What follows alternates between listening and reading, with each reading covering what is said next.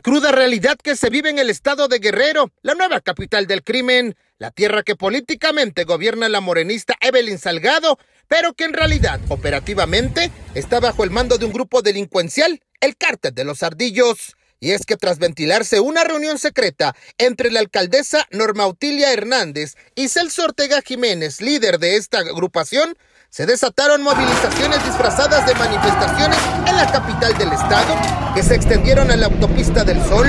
Entre la multitud, líderes criminales que hicieron otra vez desmanes y desquiciaron una de las vialidades más transitadas del país.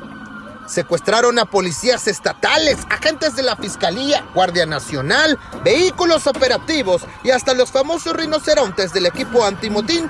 Superaron a las fuerzas policiales y hasta los sometieron. Le demostraron al gobierno de Guerrero que en realidad el mando está bajo la bendición del cártel.